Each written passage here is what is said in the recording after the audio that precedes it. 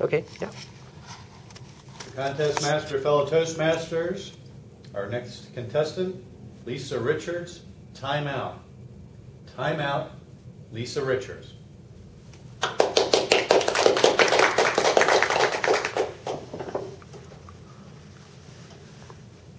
Mommy! We're out of toilet paper. Honey, where are my socks? Lisa, did you finish that report yet? Mom, what's for dinner? Walk me. Boom. Feed me. Boom. Love me. Time out.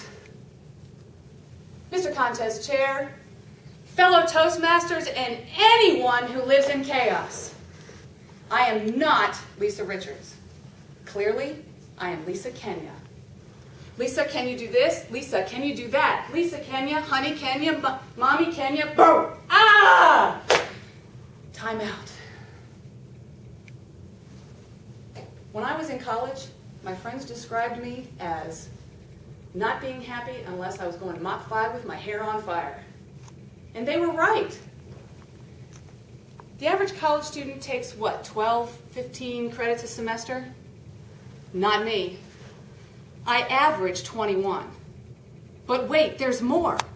On top of those 21 credits, I was in the marching band, on the swim team, on the student council, an officer in the Baptist Student Union, a clerk in the library, a night assistant for the campus police department, and runner-up to the homecoming queen my senior year. Now I know what you're thinking. Why isn't this woman an area governor? Trust me, my division governor has asked me every day that same question. Frank, stop it. And after graduation, that pace didn't stop. Not only did I have a full-time job, but I filled my time with community outreach programs, civic organizations, in the church choir, directing the youth choir. Every single day of the week I was going somewhere, doing something, or meeting someone. Until April 24th, 1990. I woke up with heart palpitations. Dr. Stevens looked me right in the eye.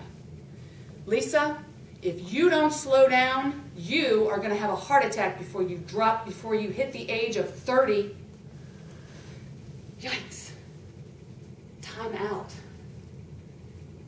My body stepped in after years of watching my brain step out.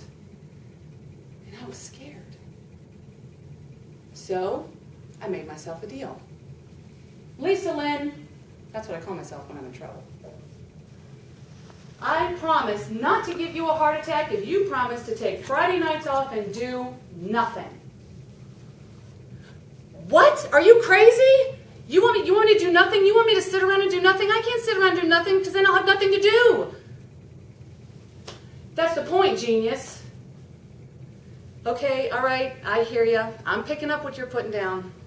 I'll do it. But I'm only giving you six months. That was 20 years ago.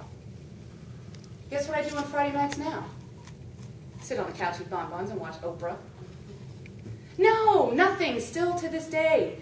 Because when I hit that six month deadline, I made the most amazing discovery. You are not going to believe this. A secret lost in the ages. Are you ready for this? Did you know flowers have color? and, and birds sing. And roses. Ah, delectable. See, I was consumed running from here, back over to here, and then back in the middle again, fulfilling everyone else's needs that I never stopped to notice. I never gave myself a timeout. When was the last time you took time out? That long, huh? Doing nothing is only one of hundreds of ways to take time out. Ladies, have you ever had a pedicure? Oh, I just melt right out of the chair. Time out. Guys, ever had a really, really good back massage?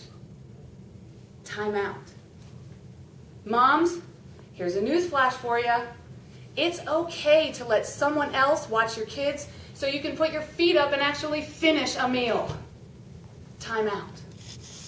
Dad, grab the dog and a frisbee and head out to the park for the afternoon. Time out. Couples play hooky from work together and go go for a walk on the beach or do what Julia Roberts said in Pretty Woman: cop a squat and read a book, or go play a game, whatever flips your pancake. Time out. Kids, go outside and play a game that doesn't require opposable thumbs. Time out.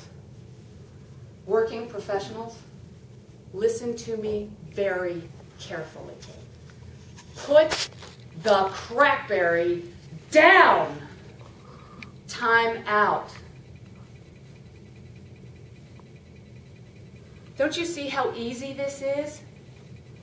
It only takes a few minutes, maybe even a couple of hours, but I urge you to do it. Because your brain may not get it, but trust me, your body knows how important it is for you to give yourself a break. And your body will talk louder than I do. Those of you who know me, that's pretty loud. So, am I getting through? Maybe. I hope so. You know what my husband does for me on our anniversary? He sends me roses. Oh, and not just because he knows I love them, but because he loves me enough to remind me to stop and smell them. Time out. Do you get it? Time out. Are you picking up what I'm laying down? Time out. So, what's it going to be? I have a simply fabulous idea. Let's all get together Friday night, put life aside for just a few moments, and shout. Time Oh, come on, you can't even convince my grandmother. And shout, Time out. Mr. Contest Chair.